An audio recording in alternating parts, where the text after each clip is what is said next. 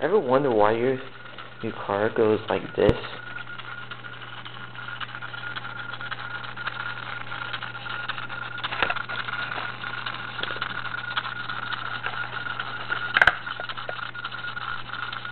Huh?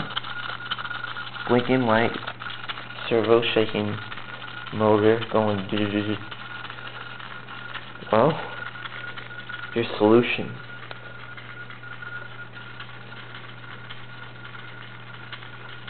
After the solution is disabled,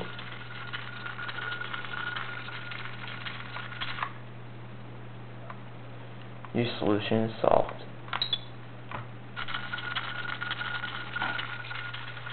On again. Turn off.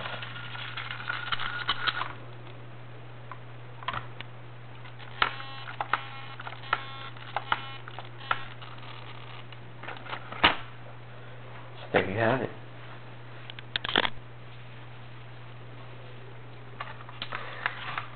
The reason why your system shakes is because your system is low on battery power. So make sure you charge your batteries. And you don't get that shaking. And then make sure you turn off your car. Thank you.